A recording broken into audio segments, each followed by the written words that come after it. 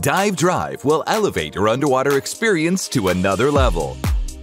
Dive Drive is lightweight at barely 3 pounds, making it easy for anyone to carry.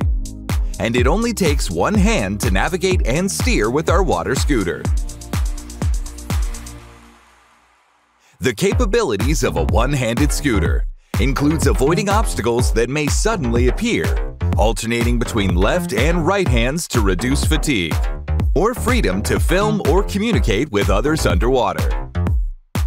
Simply press the trigger to operate Dive Drive and freely shift between two gears with a finger as you swim, offering a more dynamic and thrilling underwater ride.